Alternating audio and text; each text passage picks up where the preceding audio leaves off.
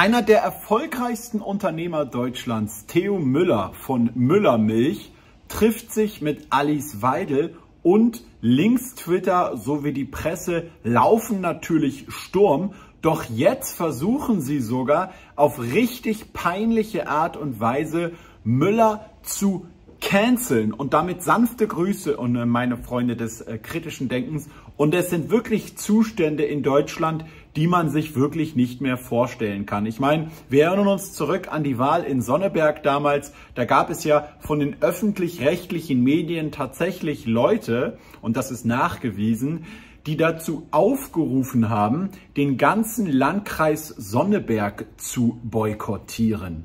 Und jetzt äh, gehen hier diese Meldungen eigentlich von äh, Handelsblatt über Spiegel beispielsweise. Jeder berichtet darüber, über etwas, was eigentlich überhaupt gar keine News sein sollte.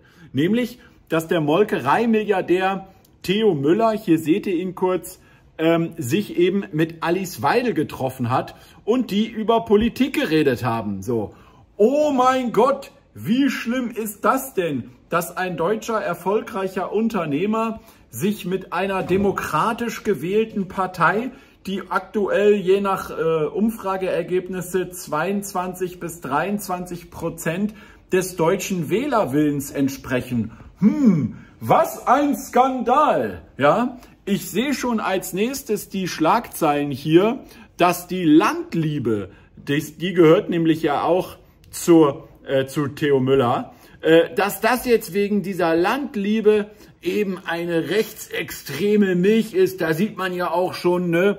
Blau sind die Farben der Landliebe eindeutig zu erkennen und am besten doch jetzt alles, was Müller und so produziert, boykottieren. Also das muss man sich mal wirklich vorstellen. Und wenn ihr jetzt glaubt, ich erfinde schon wieder etwas, nein, weil schaut doch einfach mal hier bei Renate Künast auf ihrem Profil auf X hier. Ne? Da schreibt sie einfach, sollt ihr wissen, Ausrufezeichen. Ja, warum sollen wir das dann unbedingt wissen, Frau Künast? Was spielt das für eine Rolle, wenn wir uns entscheiden, einen Müller-Milchreis oder einen anderen Milchreis zu kaufen? Theo Müller, Doppelpunkt, Molkerei-Milliardär, bestätigt Kontakte zur AfD. Ja, so allein so dieser Satz bestätigt Kontakte, so als ob es sich dabei irgendwie um eine Terrororganisation oder so handelt. Ja, hat das schon der Verfassungsschutz überprüft, so ungefähr. Müller ist Haupteigner der gleichnamigen Unternehmensgruppe. Zur größten Privatmolkerei Deutschlands gehören bekannte Marken wie Müllermilch, Weihenstephan, Landliebe. Hat sie also schön nochmal alle Marken genannt, damit auch ja ihre ganzen Follower wissen, welche Marken sie in Zukunft bitte dann meiden mögen, ja. Und dann verlinkt sie auch noch alle möglichen andere Leute, damit die auch ja Bescheid wissen, was hier alles so abgeht, ja. Ich habe ergänzend noch äh, leicht ironisch darunter geschrieben, vielleicht möchte er halt einfach nicht mit Verfassungsbrechern, also aus der Regierung, in Kontakt gebracht, äh, gebracht werden, ja. Aber ich meine, das muss man sich mal vorstellen. Wo, wir sind, wo sind wir eigentlich hingekommen, dass wir in einer Demokratie leben, wo eine parlamentarisch gewählte, sowohl in vielen Landtagen als auch im Bundestag gewählte Partei, ja, ähm, die Mitglieder von denen sich nicht mehr mit Unternehmern treffen, wie es eben in der Politik und in der Wirtschaft völlig normal ist. Ja, ich meine, wie viele äh, Grünen Politiker treffen sich denn beispielsweise mit Unternehmern aus den USA? Ja, oder solchen Leuten wie Hal Hardy und so, der ja auch ganz zentral mit die Agora Energiewende und alle möglichen anderen Projekte und so weiter finanziert, ja. Und vor allem auch in der Regierung tatsächlich, wenn wir jetzt mal ansehen, was damals mit Greichen und so alles passiert ist, ja, wenn man sich anschaut, hey, da ging das ja nicht unbedingt demokratisch so wirklich zu, wie wieder die einzelnen Posten hin und her geschachert wurden und so. Und jetzt kommen die hier an und wollen irgendwie die Deutschen dazu bringen, keine Müllermilch mehr zu kaufen oder was. Und ich meine, wir müssen ja einfach nur mal einen kleinen Blick in die Realität aktuell werfen. Ich meine, auf einem viel kleineren Level war das natürlich bei mir ähnlich. Als ich angefangen habe, die Grünen zu kritisieren, da wird mir dann ja sofort immer rechte Hetze vorgeworfen. Habe ich neulich auch schon wieder gesehen bei Maurice Höfgen, ja, hat mir auch vorgeworfen, ich würde rechte Hetze und so weiter verbreiten. Dann habe ich ihm einfach mal so ein bisschen geantwortet und zack, mein, meine Antwort hatte irgendwie das Dreifache oder so an Zuspruch wie sein Ausgangspost. Das heißt, die Linken und Grünen haben immer noch nicht ver verstanden, dass dieses Canceln mittlerweile vorbei ist. Ja, dass es alles immer nur nach hinten losgeht. Und wenn man sich jetzt mal anschaut, ich habe ja auch berichtet, beispielsweise über solche Unternehmen wie Chibo, ja, die halt einfach anfangen, an gar nicht mehr ihre eigentliche Hauptzielgruppe auch Marketing zu machen, die offenbar die Rechnungen und so normalerweise zahlt und die Produkte, weil sie ja jetzt mit Rekordverlusten und so weiter rechnen. Oder nicht rechnen, sondern sogar tatsächlich ähm, bestraft wurden. Oder wenn ich mir jetzt hier angucke beispielsweise, ne, auch der Tagesspiegel. Es gibt ja viele Zeitschriften und Medien, die die ganze Zeit jetzt mittlerweile gendern. So, ob das jetzt wirklich das ist, was die Leute lesen wollen, naja, das ist höchst zweifelhaft. Denn schaut mal hier, die deutsche Tageszeitung hier, also der Tagesspiegel, wollte halt dem generischen Maskulinum weitestgehend abschwören und die Leser beschwerten sich so energisch, dass viele jetzt gekündigt haben und jetzt ist die Redaktion zurückgerudert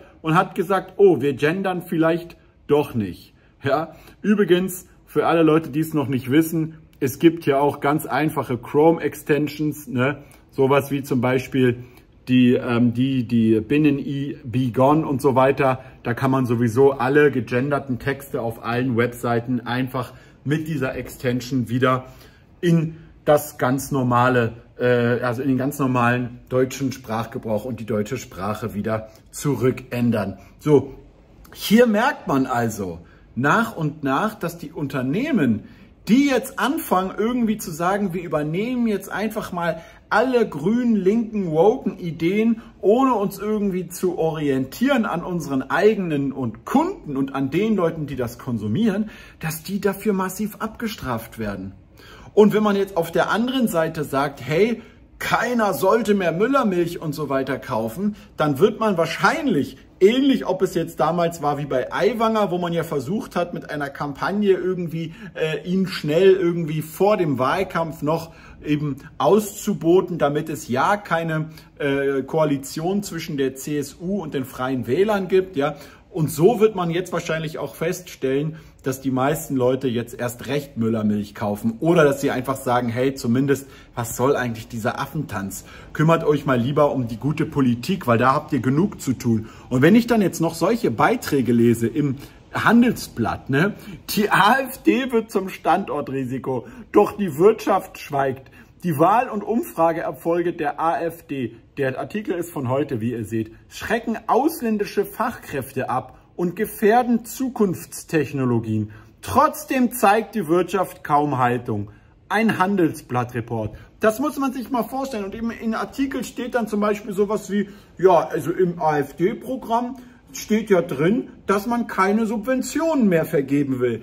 Jeder Ökonom, der etwas auf sich hält, weiß, dass Subventionen in der Wirtschaft mehr Schaden insgesamt anrichten als Vorteile bringen. Subventionen bringen immer nur denjenigen kurzfristig etwas, die diese Subventionen bekommen, aber schaden allen anderen. Das ist eine ganz wissenschaftlich einfache, immer wieder Dokumente, dokumentierte Wahrheit. Das beste Beispiel sind ja sowas wie die Milchseen und so weiter. Fängt man an, die ganzen Milchbauern auf einmal zu subventionieren, entschließt sich halt jeder auf einmal nach dem Agrarstudium Milchbauer zu werden, weil es ja da Subventionen in den anderen Bereichen nicht gibt. Das heißt, die Wirtschaft greift irgendwo ein, schon, also die Politik greift in die Wirtschaft ein, schon gibt es die ersten Verzerrungen und langfristig geht das immer in die Hose.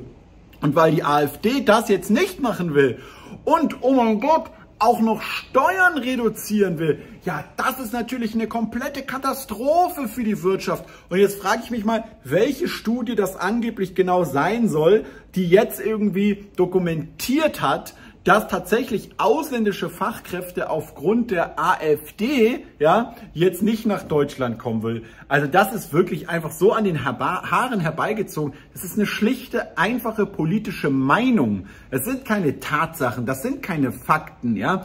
Die könnte man tatsächlich nur dann herauskramen und wirklich auch anführen. Wenn jetzt tatsächlich die AfD an der Macht wäre und an der Regierung wäre und Regierungsentscheidungen treffen würden, die eben der deutschen Wirtschaft schaden würden. Und da müsste man sagen, wenn das der Fall wäre, wenn man das dokumentieren könnte, wobei man hier an dieser Stelle sagen muss, viel schlechter könnte es ja gar nicht laufen in der Wirtschaft. Gerade was das alles angeht. Ich meine hier Zukunftstechnologien. Was ist denn mit der Kernenergie? Hat die AfD etwa die Kernenergie abgeschafft? Nee, das war die aktuelle Ampelregierung und die Vorgängerregierung der, äh, von Angela Merkel. Ja? Also wie steht es eigentlich um die Wirtschaftsfeindlichkeit dieser Parteien, die jetzt aktuell diese Energiekrise provoziert haben und die Unternehmen nach und nach ins Ausland gehen und dort investieren?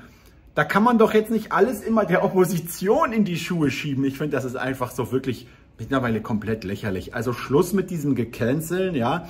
Lass doch sowohl, und das ist immer das, wofür ich plädiere, nicht pro oder gegen eine Partei, sondern lass doch einfach die Ideen und die tatsächlichen Resultate für sich sprechen. Und darauf basierend kann man dann Rückschlüsse ziehen, ob etwas gut war als Maßnahme oder schlecht als Maßnahme. Ja, ich habe ja nicht die Grünen angefangen zu kritisieren, weil ich irgendwie pauschal etwas gegen Habeck oder gegen Ricarda Lang habe, sondern weil ich die Zustände in Deutschland sehe und man von diesen Zuständen deduktiv ableiten kann, dass diese Politik von denen nicht funktioniert. Ja, und die gehen aber einfach andersrum vor. Und das ist höchst unwissenschaftlich. Die sagen einfach, ja, aufgrund unserer Meinung und unserer Ideologie glauben wir, dass die AfD schlecht für die Wirtschaft wäre, ja, weil sie ist ja nicht an der Macht, so, ohne in irgendeiner Art und Weise einen Beweis dafür zu liefern. Und wenn wir uns die praktischen Beispiele, wie gesagt, aktuell anschauen, dann sehen wir, dass eher Unternehmen, die eben, ob es jetzt Disney ist, ob es jetzt Bud Light ist, ob es jetzt Tibo ist, ob es der Tagesspiegel, dass eher die Unternehmen sich selbst schaden und somit auch der Wirtschaft und ihren Arbeitsplätzen, die eben anfangen, die ganze Zeit die Ideen und Konzepte von irgendwelchen linken Universitäten Programmen und Parteien und so weiter zu übernehmen. Also die Fakten sprechen eigentlich genau das Gegenteil von dem, was die behaupten. Ja, also lasst doch einfach sowohl in der Wirtschaft als auch in der Politik ja die Demokratie entscheiden, die Bürger wählen und dann werden wir tatsächlich die Ergebnisse sehen, statt immer vorher irgendwas zu behaupten, was sich einfach in der Realität überhaupt gar nicht nachweisen lässt.